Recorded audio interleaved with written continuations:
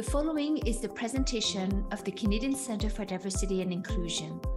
All content presented is the exclusive intellectual property of CCDI. Any sharing, reproduction, or use of this material or content as is or in any form requires the express written permission of CCDI. Should you wish to use this content in any way, please contact Anne Marie Pham, CEO at the Canadian Centre for Diversity and Inclusion at anne-marie-pham at ccdi.ca.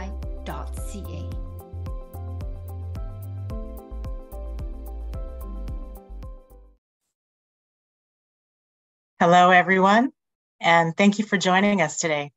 My name is Andrea Dillingham Lacourcière. I'm a manager of partner relations here at CCDI. My pronouns are she, her, hers, and I'll be moderating today's chat web on the webinar, Anti-Semitism and How to Recognize and Prevent It in the Workplace. We have a live interpretation available for this webinar. You can enable this feature by clicking on the interpretation button and choosing the language channel of your choice. Please note a quick disclaimer. CCDI is not liable for any claims, losses, or damages of any kind arising out of or in any way related to the information provided in this presentation. As you can see, we have many webinars coming up, which you can register for at ccdi.ca. CCDI is celebrating its 10 year anniversary, and it's the perfect time to pause and reflect on Canada's progress towards equity, diversity, and inclusion, and envision together a better future. This year at CCDI's Unconference, we will pause, reflect, and project. We will pause to reflect on what changes we have seen over the last decade of DEI work within our communities, and then collectively envision what comes next. What are the future trends of DEI and how can we as practitioners and community members actively contribute to build a sustainable and equitable Canada? To register for the conference, please visit ccdi.ca backslash unconference. Canadian Certified Inclusion Professional Certification is a professional designation designed to assess the knowledge and experience of diversity and inclusion professionals against the standard set of predefined competencies. For more information, visit ccdi.ca slash ccip or email ccip.certification at ccdi.ca. The next cohort registration closes on March 7th. Thank you again for joining us, and we'll now get started. I'll pass it over to my colleague and friend, Skylar, Manager of Partner Relations at CCDI, to take the conversation from here. Let's unmute first. Before we get into the agenda for today, I'd like to open this webinar by honoring the land from which I speak to you. Though this webinar is brought to you virtually, we are each situated on land that is old and storied. It is important for us to acknowledge this. To do so, I'd like to open today's session by honoring the land upon which we gather today. I acknowledge and honor the traditional territories of the Mi'kmaq, the ancestral and traditional lands of the Mi'kmaq people. I'd like to pay homage to the Indigenous peoples, past, present, and future, that can continue to work, educate, and contribute to the strength of this country. If you would like to learn more about the history, traditions, and stories of the land upon which you live, I highly recommend checking out the Whose Land app to learn more. The link should be in the chat. And why do we make land acknowledgements? A land acknowledgement is an act of reconciliation that involves making a statement recognizing the traditional territories of the Aboriginal peoples and the lands upon which they live. It can also be the beginning or continuation of your learning journey about Aboriginal peoples and the history of colonialism that continues to impact community relations across Canada. Territorial acknowledgements show recognition and respect of the land of the First Peoples on whose land we live and work. Acknowledgements are essential to establishing healthy reciprocal relations and must be meaningful in building relationships and ensuring the work towards reconciliation is ongoing. This is why we make acknowledgements a vital part of our work a little bit about me. I'm a certified inclusion professional, uh, Canadian cert, uh, certified Canadian inclusion professional with a background of intercultural communications, uh, studying how different groups of people communicate across various media. I've worked in politics, social media, nonprofit, and educational institutions. I've worked in the 2S LGBTQ plus and the Jewish community and their various intersections for almost 20 years now. And I've worked with the CCDI as a partnership manager in Atlantic Canada for the last year. This webinar will focus on three topics related to Jew hate and anti-Semitism. We will cover what anti-Semitism is, how to incorporate these lessons into your DEI work, and give you some practical solutions for fighting anti-Semitism in the workplace. To accomplish this, we have reached out to some of the leading uh, organizations when it comes to fighting anti-Semitism in Canada, and we're pleased to introduce our panel of experts. Shiva Birhanu is the Associate Director of Partnerships for the Center for Israel and Jewish Affairs. A Canadian Ethiopian Jewish activist, she focuses on combating anti-Semitism and hate by working with other ethno-religious and civil society groups on issues of shared concern. Uh, Ziv is the manager of EDI training and liaison to the LGBTQ plus community for CIJA and holds a Master of Arts from York University, where they research the trajectory of medieval anti-Semitic perceptions to modern literary anti-Semitism, specifically in children's fantasy literature. They find it important to educate about anti-Semitism and who the Jewish people are. Jody is the director uh, Jody Spiegel is the director of Holocaust Survivor Memoirs program at the Azrieli Foundation. This national program publishes written testimonies of Holocaust survivors who immigrated to Canada after the war. Since 2005, they have produced over 120 survivor stories available in English and French. Jody has been a Canadian delegate of the International Holocaust Remembrance Alliance, the IHRA, since 2014, and sits on the Committee on Anti-Semitism and Holocaust Denial uh, on the committee uh, in 2022. Jody chaired the IHRA's Education Working Group. So now we'll get into the initial questions here. And let me stop sharing my screen and open it up to our panelists here. And I, the very first question that I would like to ask is, um, what is anti-Semitism? And I'll start with with Jody here um, uh, to to begin. Then we'll go around in a circle. Thank you, Skylar. Um, I'm going to begin. First of all, thank you for including me and having this important discussion. I know it's uh, really difficult, and I think it's quite commendable um, to to be having this talk today. So I want to talk about the International Holocaust Remembrance Alliance, or I'll refer to it as the IRA. So the IRA eh, is a group of countries that come together to promise to uphold the Stockholm Declaration, which is the founding document of the IRA that pledges a commitment from these countries. And there are over 34 countries now who have committed to Holocaust education, commemoration, research, while working to combat anti Semitism. As we know, anti Semitism didn't disappear with the end of the Holocaust. And so fighting anti Semitism requires a common understanding so we can lead to a cooperative effort. And so in 2016, the IRA adopted a working definition of anti Semitism. And that's the definition that I'm going to share today. Um, and we know since 2016, over a thousand global entities have endorsed it, including the province of Alberta, the city of Vancouver, and just last week, uh, the city of Richmond, British Columbia. So the IHRA definition has generated open public dialogue on the problem of anti Semitism. And its core, the definition states that anti Semitism is a certain perception of Jews which may be expressed as hatred toward Jews, rhetorical and physical manifestations of anti Semitism directed toward Jewish or non Jewish individuals, their property, the Jewish community, institutions, or religious facilities. It does not define who an anti Semite is or who a Jew is. Instead, it talks about certain manifestations. It focuses on form to allow for dialogue, that is, conversation about conscious or unconscious expression.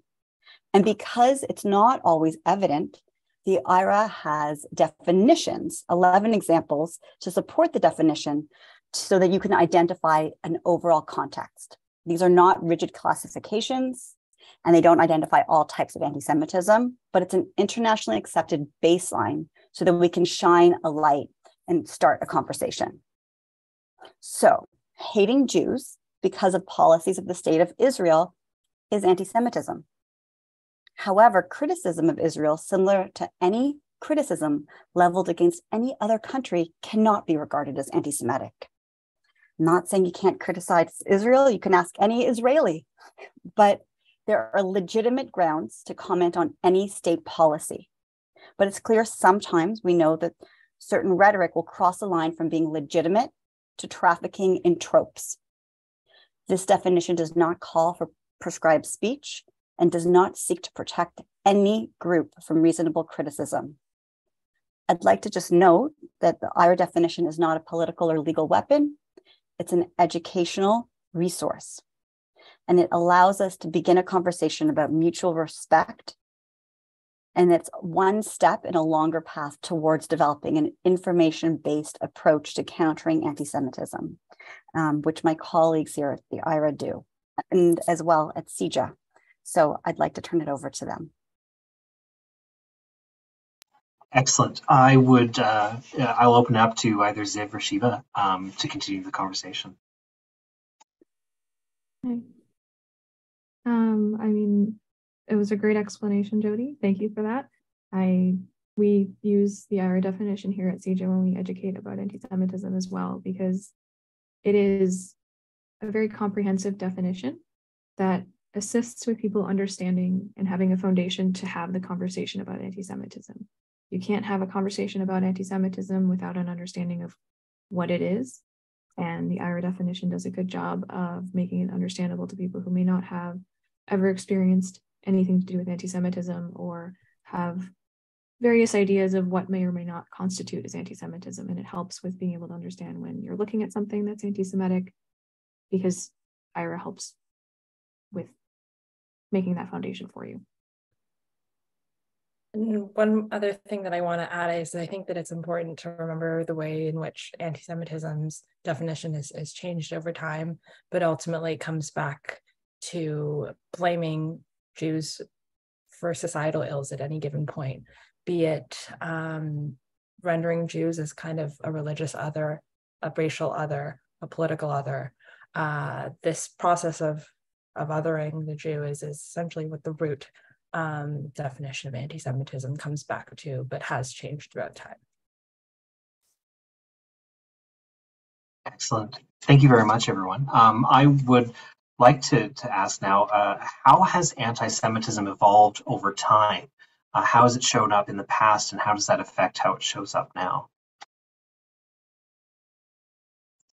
Um, I guess I could talk about that a bit because um, a lot of my research was specifically in medieval anti-Semitism, which is one of the ways that is probably the largest influencer in how we've seen anti-Semitism develop today, um, with specifically religious anti-Semitism coming out of the Middle Ages, where there were lots of laws for um, Jews that um, I'm not sure if you're having trouble hearing me still. I tried to adjust my. Okay, we're good now. I'm a very soft speaker. I'm sorry. Uh, so there were lots of laws in the, in the Middle Ages about what Jews were allowed to do and what they were not allowed to do. There was a lot of perceptions of Jews that made foundations for how people view Jews today and how anti-Semitism is manifesting today. For example, there's blood libel, which is where Jews are accused of murdering Christian children in order to use their blood for esoteric magic, for making matzah for Passover, for increasing their longevity of lives. Like there's a lot that goes within blood libel, and we've seen that become a thing today that people continue to accuse Jews of. There's, of course, the entire idea of Jews being very wealthy and controlling the banks. And that comes from where there were edicts against Christians actually dealing with usury. And so they couldn't do that at all. And then Jews were only really allowed to do certain jobs anyway. And one of them was dealing with loans. So when you had a person who owed money to their landlord, to their lord, to whatever it was at the time, the person coming to collect would be Jewish. And so you end up with this perception that the Jew was coming for your money, and that continues today. Um, we even in Canada, we we are not without our own history of anti-Semitism here. Um, it's not maybe as well researched or well it is pretty well researched but like well known about as european anti-semitism but you may or may not know that this year is the 90th anniversary of the christie pitts riot which was the largest race riot in Canada. Um, it is in August this year.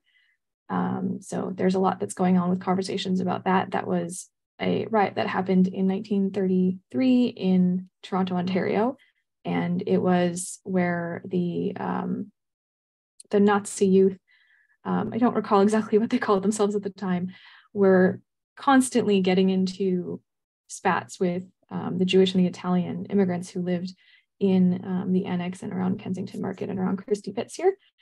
And it all came to the head one evening in 1933 when they were playing baseball in the uh, pit there. And it was, I believe it lasted until well into the morning.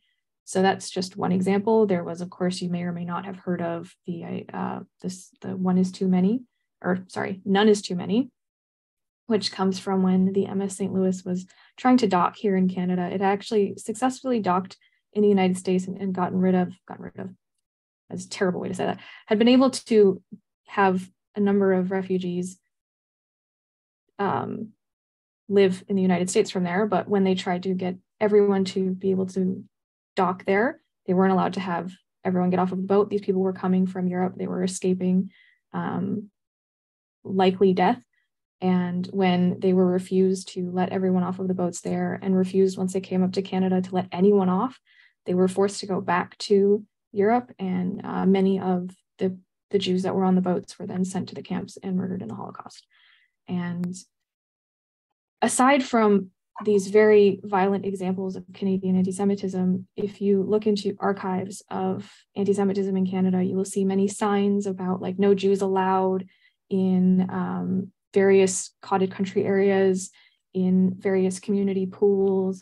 Um, there was a newspaper that was the Canadian Nationalist, which was publishing in Winnipeg in 1937, that was publishing anti Semitic content. Like, it's not something that we have pictures of fully for everything. These are just examples of signs, these are examples of publications.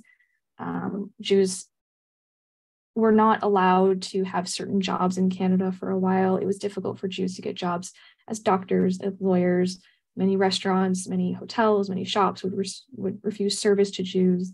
Um, many Jewish people would just flat out face discrimination in employment of not being, even if it wasn't like a rule for the employer all across the board with um, universities not employing Jews, but just day to day, like, oh, we're not going to have any Jews, Gentiles only sort of we signs. see that like in the past from like quotas from different universities and how many Jews they would allow in and that sort of thing has evolved like now uh, we see a lot of it coded in cultural um, cultural touchstones where where you see jews as coded as as because they were forced into these jobs of, of money um, by christian nations they were um, often were often uh, perceived to be wealthy or uh, managing the banks or, or behind the scenes um, which comes out a lot in in culture and and television and movies these days.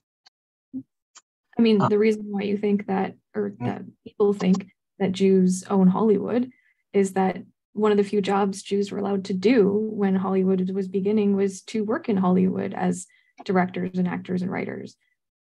The reason why Jews are in a lot of Jews are in certain areas is because these are the jobs that we were allowed to take part in.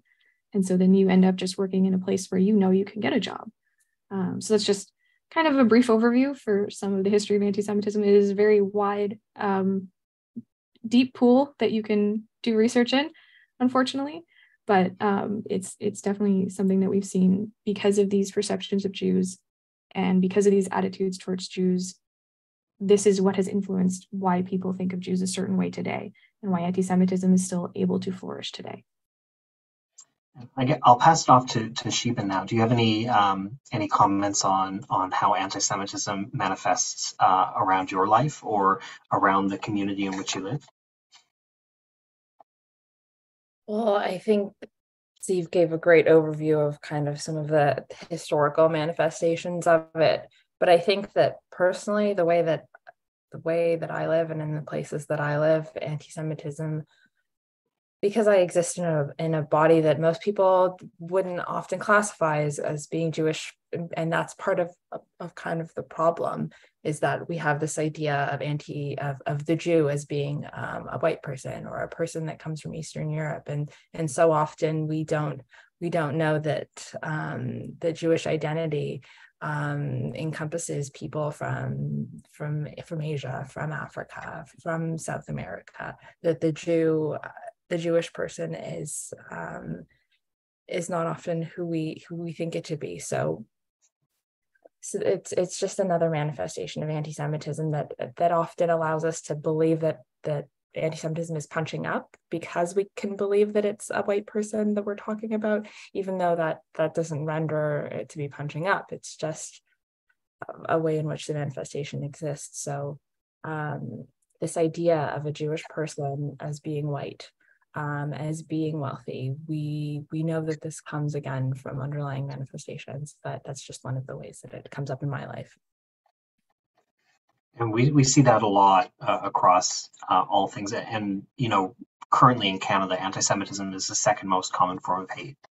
Uh, yeah. which has we make up yeah. less than 1% of the population yet we make up 14% of religiously motivated hate crimes uh, making jewish canadians the number one target of religiously motivated hate crimes the overrepresentation um, speaks volumes yeah, and it's one of the reasons why uh, this this webinar, in fact, was moved up um, because of all the the anti-Semitism, the increase over the pandemic. A lot of uh, I found stickers in Halifax blaming the pandemic on on Jews, and you you see that across the country. A lot of people picking up on the anti-Asian hate, the anti-Jewish hate over uh, events like this.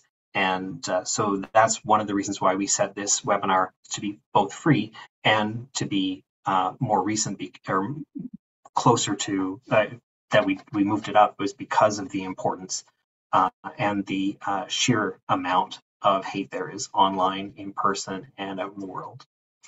Um, I'll use that to, to segue into our, our uh, second sort of group uh, conversation is um, what are some of the ways in which we can incorporate anti-Semitism into DEI work as, as we uh, are working on it today?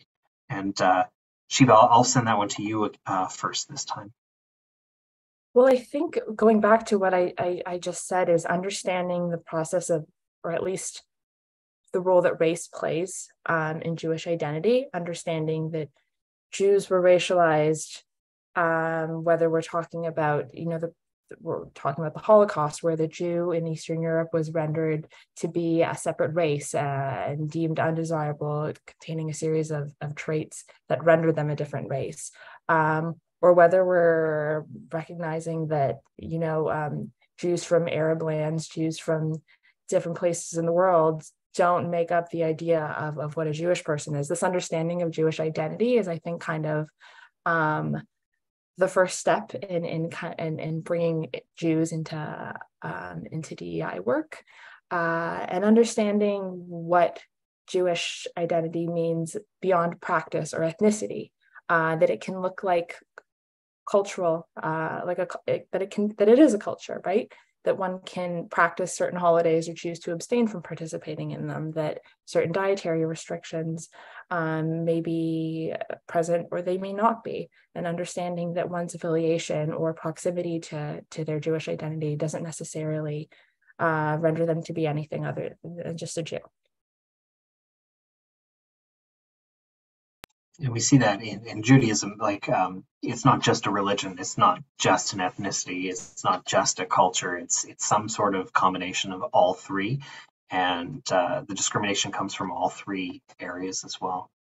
Um, Jody, I want to jump on what Shiva was saying about the understanding um, in the workplace and just in society that there's no there's no one to say, oh, you don't look Jewish or to as- assume a certain look, a certain way of being. Like you said, Judaism is, to be a Jew is to is an ethnoculture.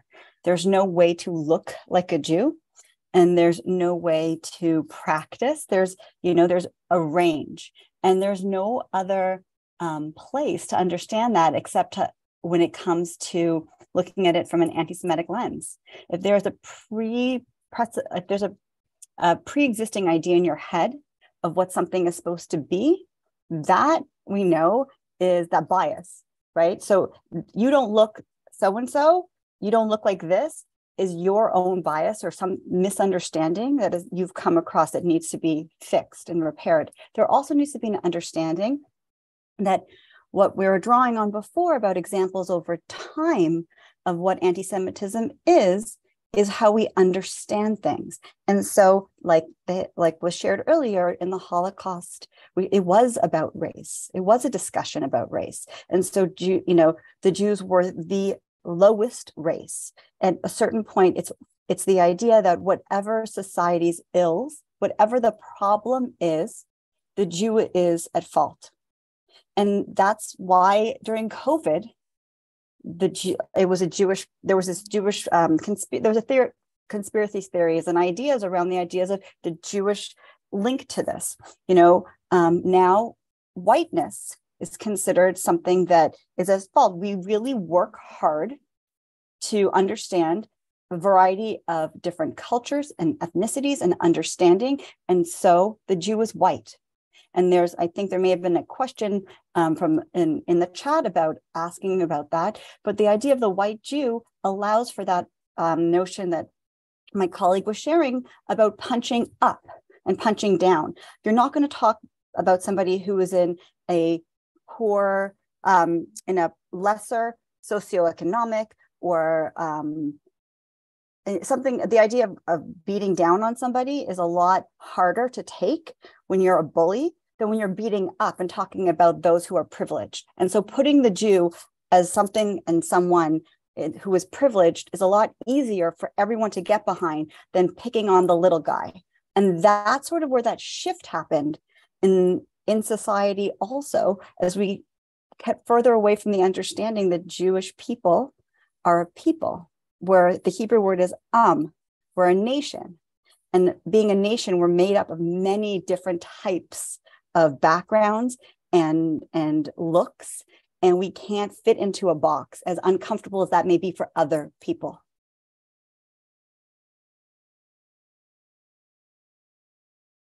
Ziv? Um, well, to talk about it in terms of EDI, because um, I think we've done some really good conversation here about how to understand what it is to be Jewish and how we are a culture, we're a religion, we're an ethnicity, um, by speaking about it in this way also is kind of making our conversation work within like a christian mindset because it is christianity that made us understand that religion and culture uh, can be separated. Um, it, it, it's very you, you can't. It's it's part of your culture. That's just what that is. So understanding that you might have internal biases like that which is so minimal. It's so small. You might not ever think of it that way. That there are others within your head. Like if you, you there's so many. I can't even think of more examples right now. Sorry. Um, that you just might have to be willing to confront when someone mentions it to you um, without being on the defensive. So, for example, with working with looking at anti-Semitism in the workplace, there's a lot of there's a lot of articles about this right now because there's been a lot of people talking about anti-Semitism in general and then talking about how do we deal with this in the workplace. For example, there's people who talk about how just bringing up that something was anti-Semitic, they went to their their manager and their manager was like, "Oh, well, just ignore it. We just want to have a nice environment here. We don't want to have to deal with this kind of conversation." That's an example of anti-Semitism, right? Like you need to be able to face and deal with when there are conflicts in your space. It may not be maybe that person isn't the right person that should be reported to. But if you go to your higher level report and they come back to you with something like that, that's inappropriate. And there needs to be an area where you can go and report to someone else, like go maybe to HR or go to their manager or whatever. Or um, I know someone who wanted to have their company uh, say something about International Holocaust Remembrance Day, which just happened. And they got um, a response that was saying that they don't acknowledge any religious holidays. And that's not a religious holiday, that is a Memorial Day. So understanding that there's kind of a difference within how we conceptualize our religious holidays as Jews, but also International Holocaust Remembrance Day isn't actually a Jewish holiday, regardless. It's an International Remembrance Day. So just being aware of that. But when it comes to like your employees when it comes to your um, coworkers if you are in an instance and someone says something like, "Oh, um, you know, you're you're careful with your money because you're Jewish," speaking up against that and saying, "Oh, what are you what are you talking about?" When you see someone say that to a coworker, is what's important. Speaking up against anti-Semitism is what's important. If you don't feel like you can say it in that moment, but you can be a witness, is also important. Being an active witness to something can be very helpful if it feels like you're not in a safe space when an incident happens but you can go and speak to the person that it happened to and be like, I will stand with you if you want to report this, or I'm willing to report this for you, can be very helpful. Depending on Jews to constantly be the people who stand up against anti Semitism will not lead to comprehensive change. We are such a small percentage of the population that if we are the ones that are demanded upon to make these changes happen, they really aren't going to happen. We need the help of our allies to do that. So when it comes to say you want to you want a new job or something you're looking at a job looking at what their uh, policies are about religious accommodations can be a really good way to see if they're an employer that will be an ally to you as a jewish person or as a muslim person or as a sikh is a good way to understand how good they are with edi just straight up that's a very minimal area but it's very much something that can be lacking. So, how do they deal with religious accommodation? How do they deal with their what are their anti-discrimination and anti-harassment policies? Do they have examples of doing diversity trainings? Have any of the diversity trainings had to do with anti-Semitism? Because in a lot of EDI trainings, anti-Semitism is overlooked because again, we are determined to be people who are of privilege. So, what is there to train about? What is there to learn about when it comes to anti-Semitism? Unfortunately, there's a lot. Um, that's what I do. So, thinking about how to look at a place you want to work for looking at all of these things, but also as an employer, as a manager, as an HR representative, what does your company do for these things? Um, does your company have employee resource groups for faith based resource groups for interfaith or specifically Jewish or any other faith? Like these are ways to show that you are open to being an ally to Jews and to support your Jewish employees. So those are just a few examples. and we will come back to the signpost policies because that's something I want to talk about uh, when we do talk about things we can do now. Um, but I wanted I wanted to grab in on this part uh, for allyship because what does it mean to be an ally to the Jewish community, to to the communities in general, uh, and finding um, that balance of when you see anti-Semitism, call it out. Um, when you're when you're when you reach out to someone and say, you know, I felt anti-Semitism at work, listen. Don't don't go on and and you know don't ignore it. Don't say that it's not happening. Don't give examples where you're you know good in other areas. Just listen. Um, and I'm not sure how does allyship um, to you mean something um, different or or I'll, I'll, I'll leave I'll open this again to to, to Jody and Sheba, but uh, do you have any uh, good examples of like things that you can do uh, uh against like micro or macro um, aggressions, things that uh, you know that you would like for um, allyship wherever you're working?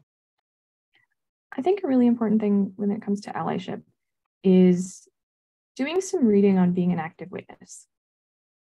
Um, because that's really a place where you can be very helpful um, if there's an incident.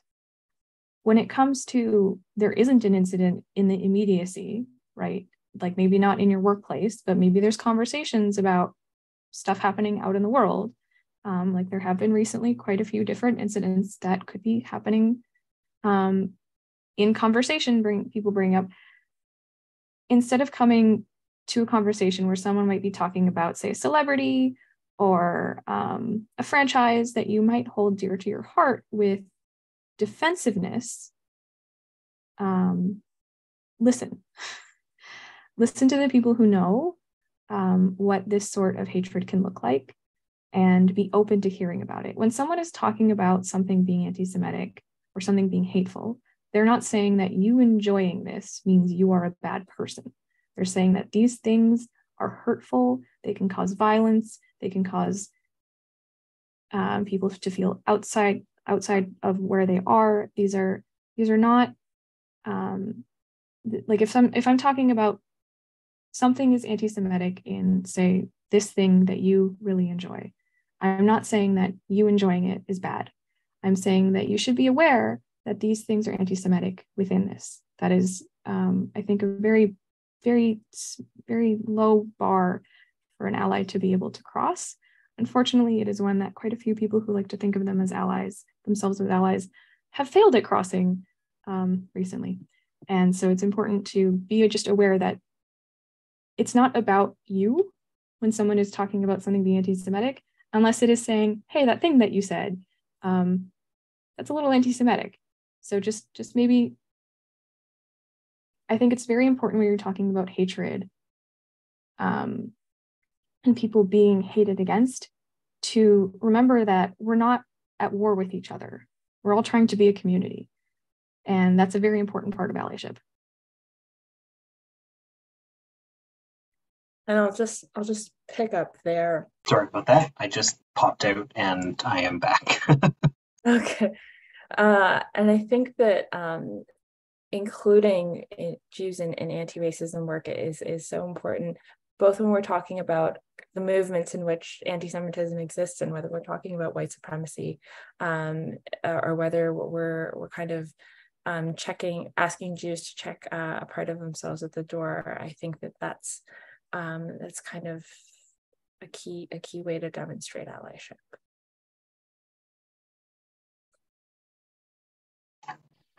Excellent. So we we've been talking a little bit about um, Jews being more than just uh, a religion, so and a, more than just uh, a culture. So uh, I'd like to ask, what is the difference between a Jew, a Zionist, and an Israeli? Does that make a difference in how we go about this work?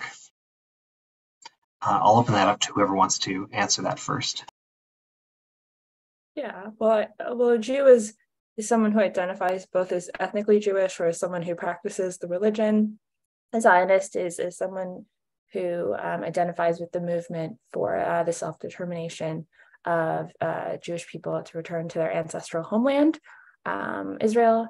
And an Israeli is um, a citizen of, of the state or a national of the state.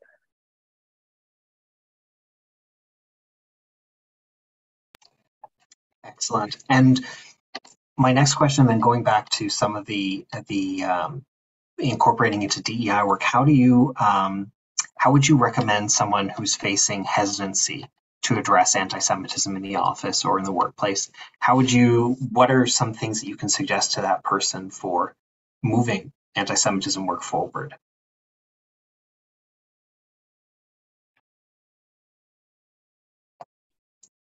Well, I think that often there's a hesitancy to even approach anti Semitism because of the conflation with Zionism, but it's important to remember that that that Zionism is is baked into into Judaism. If you were to walk into a synagogue and pick up a siddur, you would find prayers for the well-being of Israel. So this this kind of desire to separate the two um, kind of glosses over the fact that it's baked into Shabbat weekly prayers and and, and Passover and Passover prayers. Um, so it's often kind of held as a metric for whether Jews can participate.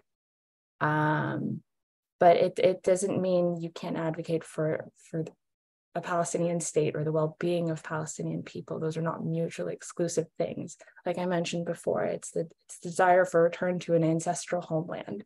It's it's a call for the return to the the linkages that we know based on archaeological um, findings. So it's and and and like I said, it's baked into the faith. So this desire to kind of separate the two and and the fear of kind of of of making one statement by broaching the topic of anti-Semitism is, is a fear that I, I recognize and I see. But I think that, like I mentioned before, Jews can't be asked whether they can participate or not based on their affiliation with something that is so core to the identity. Also, that is a conversation of are you a good Jew or a bad Jew, which is inherently anti Semitic. Um, in a conversation with someone who is hesitant with bringing up anti-Semitism because of the issues that Sheba is talking about, um, making them understand that it is something that's core to our identity. But also, when you're talking about anti Semitism, you aren't necessarily talking about Israel and its policies. The way that people talk about Israel can be anti Semitic. When they compare Israelis to um, saying that they are using Palestinian blood to make the vaccine or whatever it was that happened during the pandemic, um, that's an example of blood libel. Or um, using Palestinian blood to make matzah. Again, blood libel. Like there's a lot of blood libel in criticism of Israel. So just don't do that. Um, there's a twofold reason for not doing that. It's not only that you're being anti Semitic by using ancient anti Semitic tropes to try and make your point, by relying on hateful tropes to try and bring attention to what is going on with Palestine and Palestinians, you are making your own argument worse you are making your own argument something that people can't take seriously. If you can use information that's actually factual and true, you have an actual argument. You have stuff to bring to attention. But if you want to say that it's the Jews' fault that these things are happening, and you want to say it's the Israelis' fault that these things are happening, as a substitute for the Jews, you're you're making your own conversation more muddled and it makes it harder to have any sort of conversation about how do we deal with this conflict? How do we deal with what's going on? Um, and if the reason why someone might be hesitant to bring up anti-semitism has nothing to do with israel and palestine but it might be more have to do with well you know jews are fine in canada. Like what are you talking about? Why are you complaining? Bringing up we have the statistics of hate crimes. We have um, what's happening in the news with what's going on in the US, with what's going on with various um, conversations about IPs. Um, it, it's, it, there's evidence for why this is a conversation that is very topical, and it's, there's evidence for why this is a conversation that should be happening. Um, if it's something that is difficult, it's something that we still have to talk about. Jody? I wanted to just add also to what Ziv was saying, the idea that what whataboutism, that when you talk about um, bringing up anti-Semitism doesn't take away from anybody else or anything else in terms of groups. We are given this space to talk about this for DEI and spaces like that. This is the space to discuss this. And so to talk about Jewish hatred or anti-Semitism or anti-Zionism, which is sometimes a modern manifestation of anti Semitism, we can't be afraid to talk about it. And it doesn't put shade on other groups. I feel like there tends to be the idea that, well, if you're a Zionist, then you have to be anti Palestinian. You could be a Zionist who believes in the state of Israel should exist, a sovereign homeland for the Jewish people, and a sovereign homeland for the Palestinian people there's as Shiva was saying, there's no reason it's not mutually exclusive. And I think the fear around discussions that when people then say, oh, oh it's okay, we're going to talk about the Holocaust to check the box on DEI and talking about um, the, you know, Jewish hate, like it's not something that's happening today. Because if we talk about it happening today, then what about? And what mm-hmm. if we talk about Israel? And how do we talk about Israel? And I don't want to make people uncomfortable. Well, I think not having the conversation is what makes people uncomfortable and not answering the questions or saying, you know what, my experience was this, and I don't know enough about that, and I need to learn more. Or there are these opinions. But throwing the whole conversation out because of fear allows us not to move forward. And I think just you know we had talked about this before skylar the idea that um, you know if you disagreed with the policies of the chinese government and then you boycotted your local chinese restaurant i don't know what impact that would make on the chinese government. So i think the idea of doing that in let's say the israeli context where people are boycotting certain israeli institutions organizations here in canada who often you know just like a person trying to make a living as a political statement becomes that's where the problems lie is that when we turn everything into the geopolitical and not the personal because if anything especially in dei in the workplace where you go every day that is the personal And if we tend to push that aside for fear, we're going to we're going to make everything worse. Exactly. I 100% agree. Um, my my general rule of thumb, uh, if you want to criticize Israel, criticize the government of Israel, but don't blame uh, the Jew next door because we're in Canada. We're Canadians. That's basically it. Um, so I love the, the your analogy there, Jody. Uh, I am going to shift gears again and pop us into the, the last section. Um, but what are some of the things that employers can do now? What are some policies you might look for at an employer? Some like low hanging fruit. What's the easiest thing an employer can do to show you that they actually care uh, and that they are respectful of uh, of uh, the Jewish community? I'll open. Uh, Shiva, did you want to Ziv mentioned some great, um, some great low hanging fruit in that inquiring about religious accommodations um, being a great one.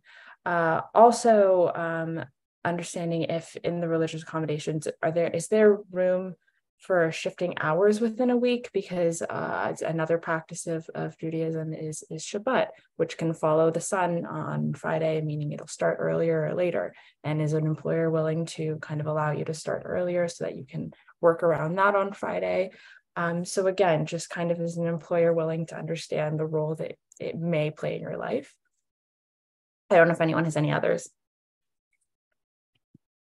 Um, I think that making sure that there's guidance about what is inappropriate speech and um, when it comes to you know talking to each other to posting on slack or teams or whatever your company uses um, and just making sure that there's kind of clear guidelines about hate speech and content that involves anti-Semitism, because unfortunately, a lot of people um, don't include anti-Semitism in their personal definitions of hate speech.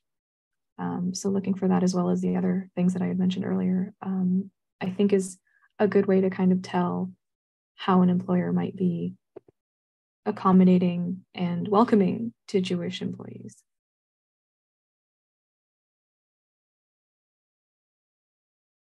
Um, one thing that, that I can say um, is check checking your um, your booklet of what what benefits do you have. Uh, is it possible to shift, um, say, your Christmas day off to a Jewish holiday so you can take that time off? Because there are a lot of periods like Rosh Hashanah, Yom Kippur, Passover, the fast days that you may want to take off as a Jew that you would normally have to use vacation for. Uh, so do you have flex work policies for that kind of thing? Can I work overtime so I can take those days off? Can I do um, other things? So when you're looking at these policies in your book, you don't have to talk to a person to know that that this workplace is is accepting and has made those uh, accommodations already before you even get there. So like for signpost policies, I always look for parental leave and, and adoption leave uh, rather than uh, maternal uh, and paternal leave uh, kind of deals because that's who I am. I'm a queer Jew. Uh, I'm a non-binary queer Jew. So looking for that kind of thing when I come in, that tells me I'm accepted. So the same thing with with Jewish holidays. Like, how do I get those off? How do I do I have to go through a process that has to be approved, or can I say, you know, this is when I need to be off? Can I leave at four o'clock on Fridays in the winter? Um, those are the kinds of things that that I really look for uh, in a policy. Yeah, uh, I know when I worked in corporate, we had vacation days and then personal days, um, which was like two days, which is a compromise for a lot of Jews to take only two days of our holidays off. Um, but this is the world that we live in. so sometimes you take what you can get and you choose which days are the most important, like maybe Rosh Hashanah, maybe Yom Kippur, maybe the first day of Passover, whatever your observance is. Um, but knowing that there was, I could take a personal day off and not have to go into my vacation was important. And yeah, it's definitely something you can look at while you're in the hiring process even and be like okay so what sort of time off do you have what is your what is your policy on leave do you have anything written about like religious observance um, that kind of stuff uh, other things that, that you can do are um, just to, to, I lost my train of thought. I apologize. um, yes. So, anyone else?